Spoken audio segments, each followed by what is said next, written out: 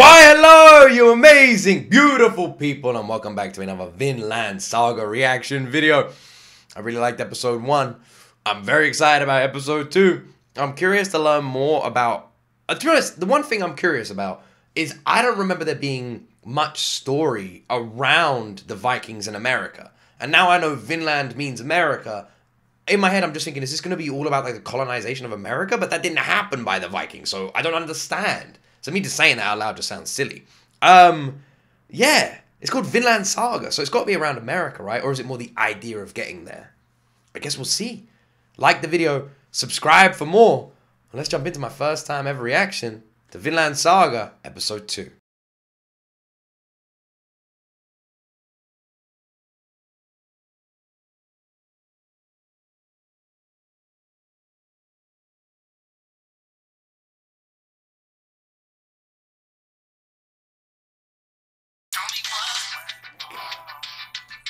Opening is so good, but I have to. I can't just. I can't. I can't just sit here and listen to it every single time.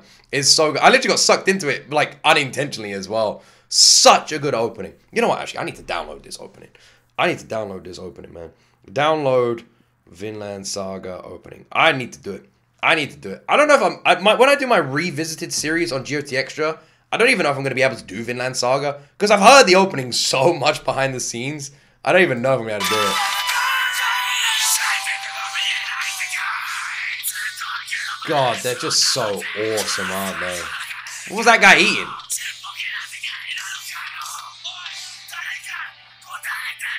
Oh, it's such a good opening! But yeah, so for anyone who doesn't know, I always skip the openings because we do a revisited opening series on the second channel, um, GOT Extra. But also, most of the time, I will listen to them and cut them out um, just of YouTube for copyright reasons. So yeah, just so people know. Just so people don't get angry at me. Is this England? The Vikings based in Northumbria. oh! その日は土曜日で Oh! バイキングたちは土曜日に風呂に入る Is that a thing? Didn't know that. 彼らのその習慣をイングランド人は知っていた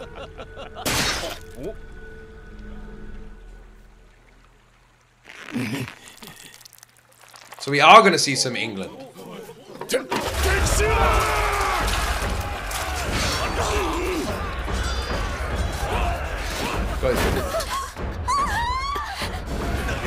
Alright, I, I'm pretty sure Vinland Saga is completely safe, but I'm going to pause it here to remember to check that there was no nipple shown just then. Um, okay. Don't spare them. The the sword noises kind of sound like the Age of Empires sword noises.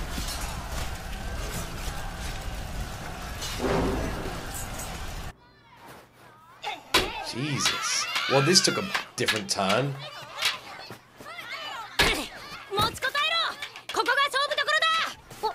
What dark opening.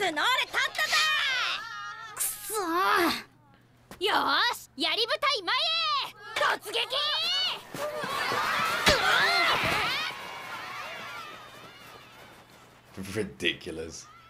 ああ戦場があっち行っちゃった。もうなんでいつもすぐにやられちゃうんだろ死体は喋っちゃダメだトロフィー。うお前いっつも真っ先に死ぬよなファクシー。うーん。天国にあるバルハラでは毎日お肉が食べられるからね。Jesus. 強い戦士じゃないとバルハラには入れないんだぞああそっか。母上や姉上は行けるのかな？バルハラ。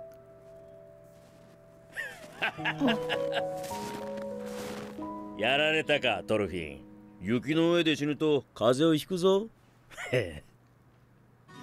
えー、明日出発。いいないいな。今度どこ行くの？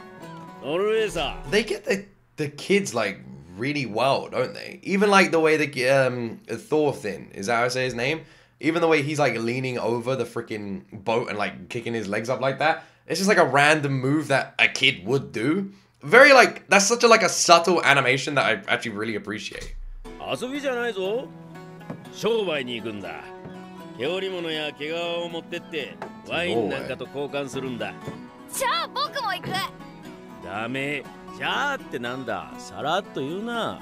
ちケイチ。流氷にぶつかっても知らないかんね。Ha. 年末までにワインが欲しいんだよ。本国のみんなとイエス・キリストの誕生日をワインで祝うんだ。僕の父上はミードが好きだよ。Christmas. 分けてもらえば？Is he literally talking about Christmas? ワインを飲むことに意味があるんだ あるいはこの村にワインがあるかと思ったんだが I do find it interesting because obviously the origin of Christmas is actually very tied in with paganism, isn't it? Um, because uh, the last what was it? The last week week of December or something like that. Um, that's why it's the twenty fifth of December. The last week of December was supposed to celebrate the end of winter or something, the end of winter solstice. And uh, in paganism and Viking tradition, they used to have like a big sort of festival um, to like celebrate like the end of winter, and then the like they moved. Was the Romans? Someone moved like the birth of Jesus to pretty much take over that date. I, I this is all like citation needed. Um, this is just like vague stuff I remember. So I'm sure someone in the comment section uh, will know a bit more than I トルフィン一走りお前の父上に伝言を頼む軍船が A warship has come. By the way, if I cough and stuff, I'm still not 100%. Forgive me. Is he not こんな cold? もんでどうかな親方今度は塞がったろ水入れてみな難しいもんだな。力を入れすぎなんだよトールズさん。父上！父ここだトロフィー。父上！また軍船が来たよ！すげえでかいやつ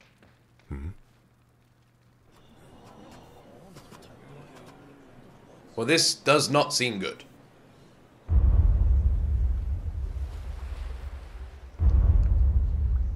I I don't know much about nothing, but this seems bad. トールズを出せって言ったきりあのままだ。トールズってトールズさんだよな。トロル？しかしありゃ半端な連中じゃねえな。ハーフダンたちみてえなゴロつきとは違うぜ。おトールズさん。奴らこの村を攻める気じゃ。ヨームの戦士たちよ。私はここだ They look pissed.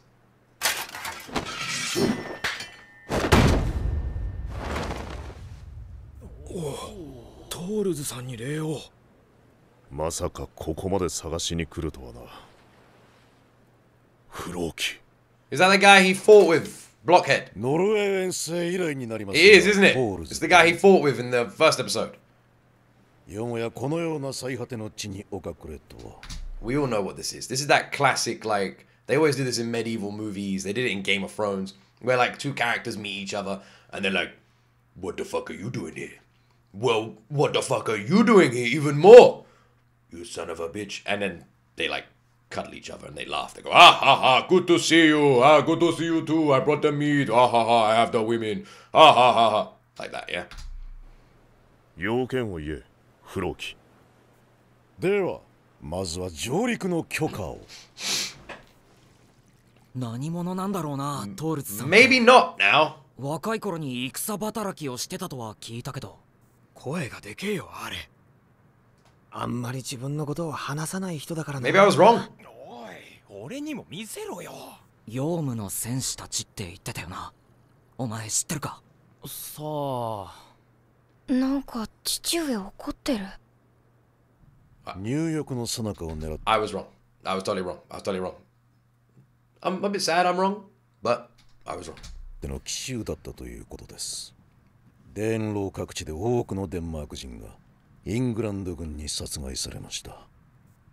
そしてその中にはデンマーク国王スベンの妹君グンヒルド様もいたとのこと。Oh, 妹の.敵討ち。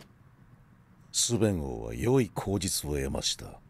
大きな戦が始まります They killed the king of Denmark's sister, the king of the Dane's sister. 我ら戦士の出番です People are gonna yell at me if I get that wrong. Let me just make sure.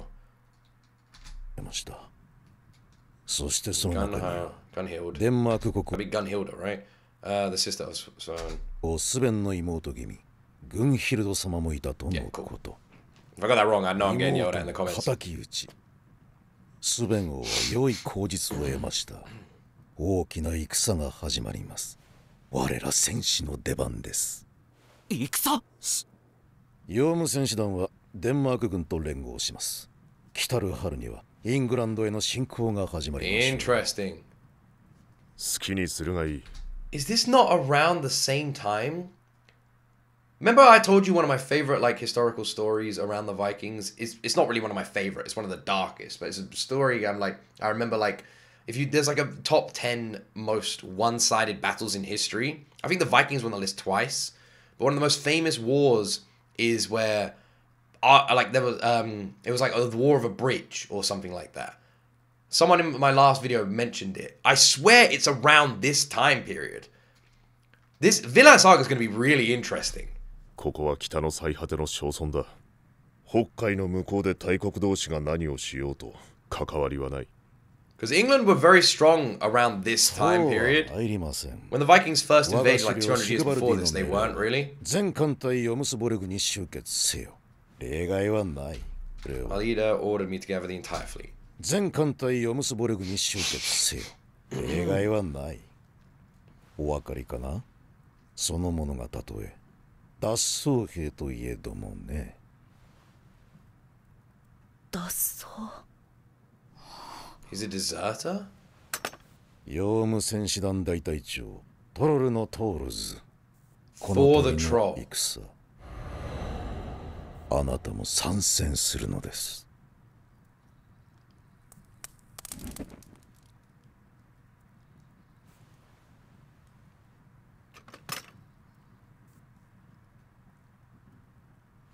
トールズ殿この度のことは我が狩猟の温情なのですよ。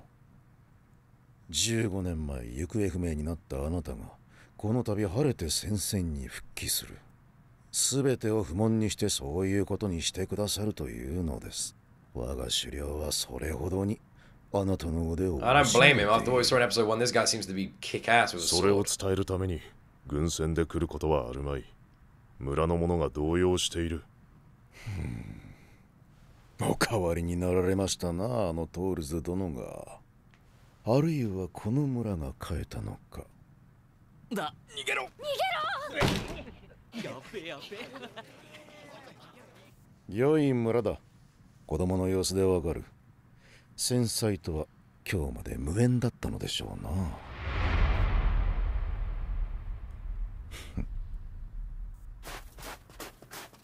聞いたか戦だぞすっげえ俺初めてだよわざわざ海越えてトールズさんを誘いに来たんだぜあいつら It's weird. It's weird, it's weird, it's weird. Because this is like how it would be, but it's weird because they're kids. Obviously, Thor knows that. That's why he's not happy. You can tell he's like not happy. He wants them to be free of war. He just wants them to be kids. You can tell. This is like a really dark scene with the kids being excited about it, especially. ええよお前の親父さんはでもよ俺ら連れてってもらえるかな。おめえは無理だな。弱えもん。んだよそれ。やっぱ強くねえとダメか。まあその点俺は大丈夫だな。お前ら人を切ったことねえだろ。そういう経験があるかないかで。の悪い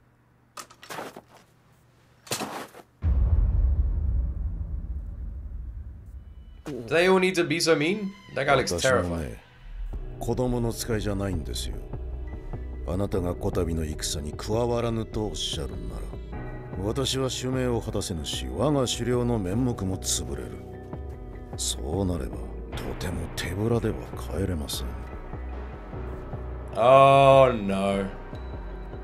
お分かりでしょう So this guy is a prick. We don't like this guy. He's threatening the whole village now. If he's either saying he's going to screw over the village, or he's saying if Thor won't go, they're gonna have to take some other people with him.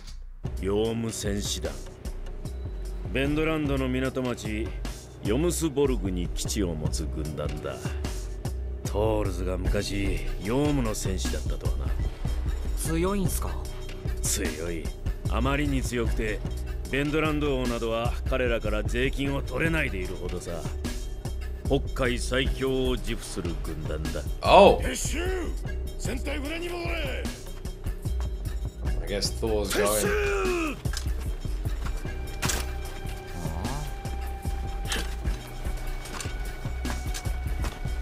何今の感じ悪いな Yeah. 助かったなあれ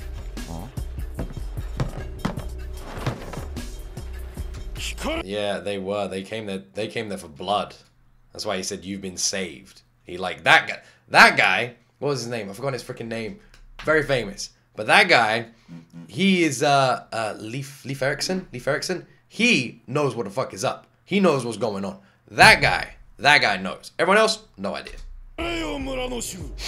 私はヨーム戦士団のフローキだ主命により勇者トールズ・スノーレソンに加勢を頼むためこの地へ参った勇者トールズ殿は我が狩猟の求めに応じられ軍船一隻の提供を約束なされた我と思わん者はトールズ殿と共にヨムスボルグへ参られよ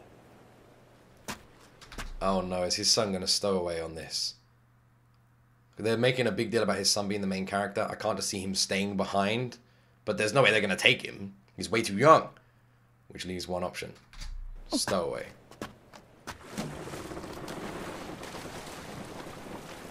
ではトールズ殿。いずれ戦場で会いましょう。よ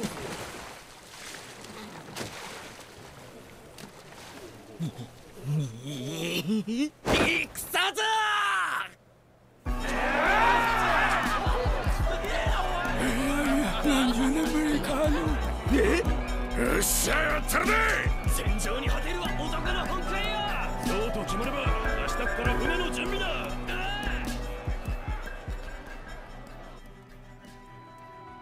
断れなかったのかねトールズ。村を巻き込んでしまったな。昔 Are 人を殺すことで身を Are 立 the, て are the villagers strong enough to even だ fight? ある日ある日急に嫌になったんだ。殺すのも殺されるのも。だから逃げたんだ。戦場から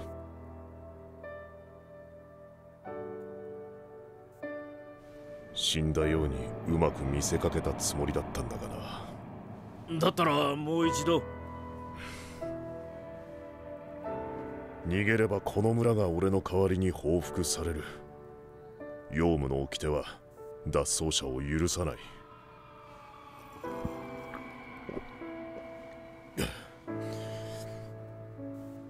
自分のしてきたことにけじめをつける時が来たんだ God. It's so weird, isn't it? It's so weird. You got all like the people excited about war and fighting, all like encouraged to die.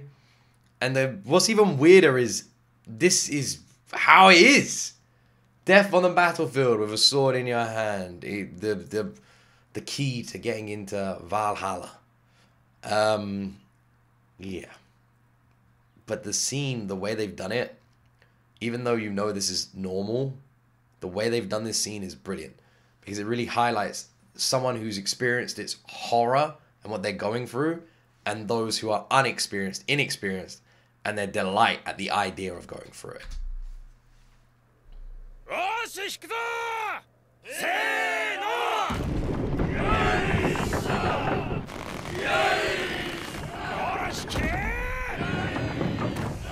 あれレイフさん今日出航じゃなかったっけトールズに頼まれたんだその軍船と船団を組むことにしたよそうか確かにその方が安全だいざって時は俺らが守ってやるからよやった Oh dear, I feel like this guy is gonna be the first to die. He's he's like literally first guy in a horror movie to die. He's too damn cocky. そりゃ頼もしい Leaf is the best, by the ど way. いつも戦好きなことよ He's hilarious. Yeah, Leaf is the best. He's so funny.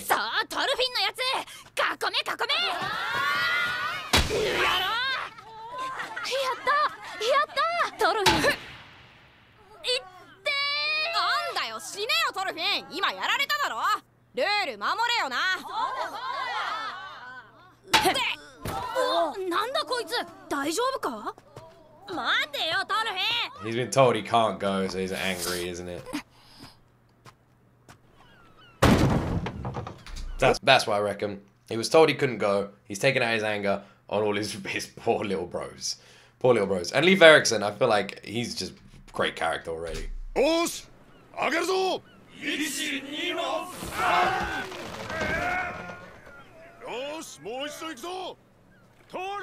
What's the dub like for Vinland Saga, by the way? Random question. Hmm? 折れてるな子供の遊びにしちゃやりすぎだ一月の間添え木をしておいてくれすまんなトルフィンがやったんだよあいつ最近ムカつくんだ。手加減しねえしもう絶対仲間に入れてやんね本当か？うちの子が？そそれはすまなかった。よく言って聞かせる。気にすんなよ。子供同士のことだでもまだ6つだろ？4つ5つ上の子たちに怪我させると大したもんだよいい戦士になるぜあの子はやっぱりあんたの血だよトールズ It's a game, dude. His kid. They do all seem very hurt though, but he wasn't playing by the rules. Thor thin. You can't go around doing that. うわよこれ一式くれんの親父じいさまの代からの家宝の武具で存分に戦ってこい I don't like this. おおかっけえぞあれ俺のも見てくれ。馬の首を一撃で落としたっつ名品だぜ。おおでけえな。獲物ったら槍だよ。おおなんなら勝負するか。もうあんたって子は何でもかんでも放りっぱなしにすんなよなってこら聞いてんの。片付けないと捨てちゃうよ。いいの。いい。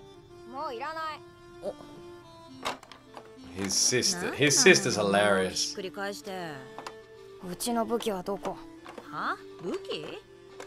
僕には武器が必要なんだ。武器があれば。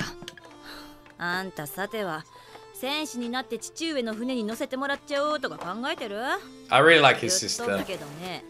無駄な努力よあんたみたいなちびっ子が。トルフィン Why is his sister not stopping him?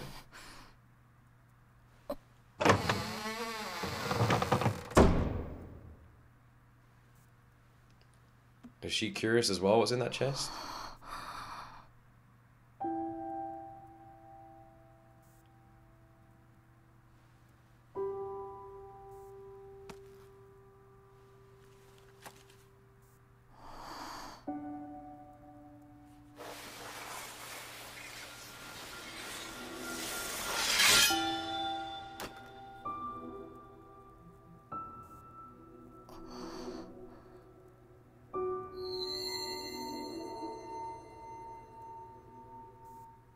綺麗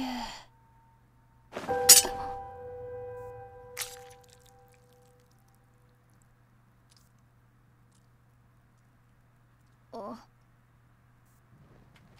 何どうしたのゆるば That scene was amazing. Like so well done. The way it went from like playful to him searching through there to finding the chest, the way the music just stopped and how intense it became. I couldn't even commentate anymore. It was like done. What an amazingly well filmed scene. like it's pulling the blade out, the reflection on his face, and then like saying it's beautiful. His the hand reaching down and grabbing it, and then the grip of the blood, like showing the seriousness of what's actually happening. That scene was amazingly done. 剣が欲しいかトルフィン剣は人を殺す道具だお前はこれで 誰を殺すつもりなんだ？敵お前の敵は誰なんだ？ハハーフ団とか。よく聞けトルフィン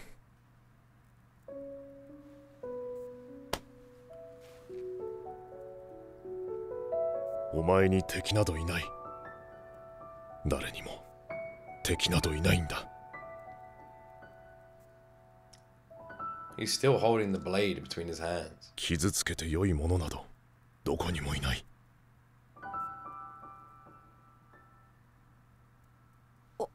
おかしいよそんなの。だって父上は明日戦に行くんでしょ？敵を殺しに行くんでしょ？子供じゃない父上は嘘を言ってる僕にだってわかるトルフィン Dude, トルフィン dude, at least 危ねえって at least hold the blade the right way.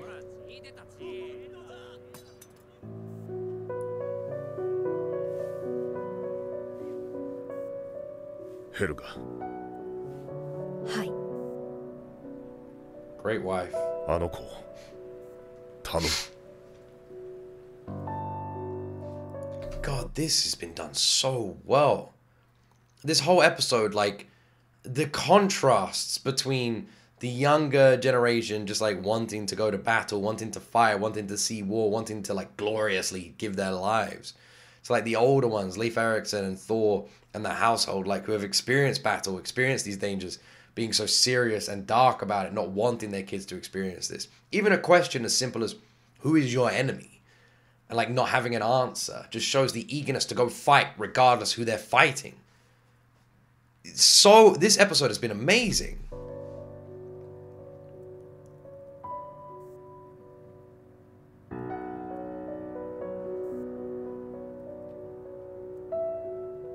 so good i'm literally just struggling to even talk 西北西から微風波穏やか今朝はオーディン神の機嫌がいい出港にはいい朝だなああ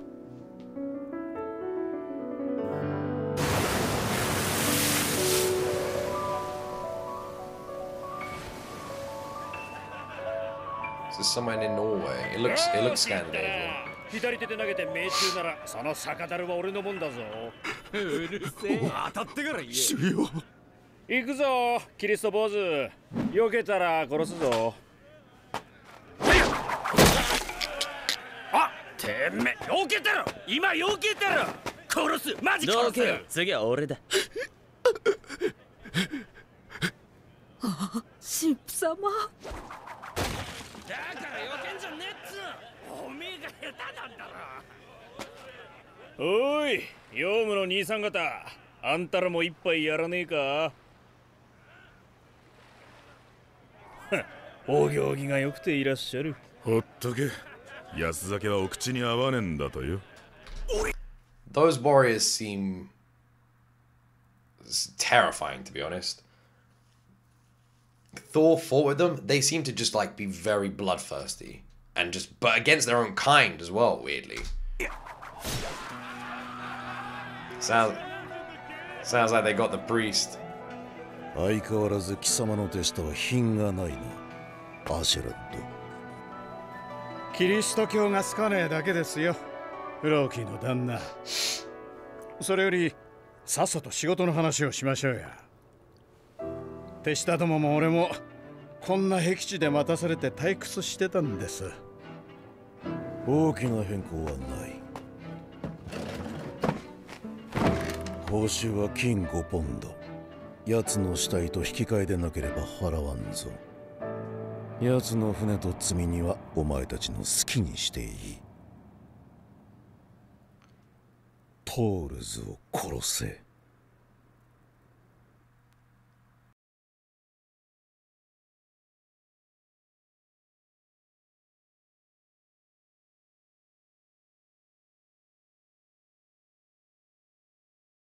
Who sings the ending, by the way? Because it kind of sounds like Millet, weirdly. Ah, shit. Do you know what? When Thor said they never like let deserters get away with it or something like that, what he said, I was wondering because in my head I was thinking he's a deserter, and they let him get away, and they've now invited him to join the battle, and that seems a bit suspicious, right? That was literally my thinking. Turns out Thor's right. Does he know he's right? It seems strange on one hand because you'd think if Thor is this incredible warrior, then two things. First thing is. First thing is like, when they went there, could they not have just killed him there? You know, they were all there on his land. So they couldn't have just killed him there, right? Why are they doing it this way? Did they need a reason to? But he deserted. Isn't that a reason enough? The other thing is, if he's this incredible warrior, you'd think they'd actually want him to help them. You know, it seems like a waste of like a valuable asset, but then it's customs. But then that leads us back to why they didn't just kill him there. If the deserting thing is such a big deal, why have why hire someone else to kill him? Why not just kill him yourself? Unless it's more of a Thor, such a great warrior, they thought they couldn't. You know, like it would be actually be tough for them to do it, so they're trying to sneakily do it because he's actually that badass, which could also be the case as well. Either way, it seems like Floki has gone off, hired whoever those dudes are, to sink Thor's ship before he even reaches mainland England. Interesting. Where are they going to make land as well? Because they have to sail. If Northumbria, I guess they have to sail down the coastline, um, the eastern coastline. Is that what they're gonna do? Um, I'm guessing. Maybe the thing with Viking ships is, based on their size, they were always like really actually because England is um, has tons of rivers, especially the northern part of uh, England, uh, like the the Midlands. And London obviously just has the Thames going through it. And Thames goes on for ages. So England has like loads and loads of rivers. And the Viking ships were perfect when they first came to England because they could just, they didn't have to like land on our coastlines. They could just sail up our fucking country through the middle. Um, obviously, it's quite dangerous because uh, the rivers aren't that big. So it's like, can be dangerous. But yeah, it's interesting. Um, but yeah, I wonder where they're gonna make landfall then, because from Norway, yeah, yeah, interesting. A sea battle. Wonder what the next episode's gonna look like. This one was really good in contrasting the different emotions that people are feeling when it comes to war. Thor's disdain for it, and everyone else is cheering for it. His son's hunger for it. I feel like this is leading to like some really dark scenes later down the line especially highlighting how much these like young ones really want war, but Thor's like terror from it. I feel like we're about to see. I've I've sensed a lot of darkness on the horizon with this anime. I've this one episode I feel like sets up a lot of brutality later down the line. I might be wrong. That's just what I'm getting from it. But honestly, brilliantly written, very well paced, and really sets the tone. I liked episode one. I feel like I I think episode two was just perfectly done. This anime is going to be really interesting. If it maintains this level of like storytelling, not focusing so heavy on the combat, and then putting these scenes of really cool fights in and out of it, but also being like really heavy on the storytelling, I could fall in love with this quite good, like quite hard. Anyway, sorry for my voice being so raspy. Hopefully you can still hear me. Thank you very much for watching my reaction. I really appreciate it. If you enjoyed it, like and subscribe to the channel. And as always, my friends, you will see me in the next video.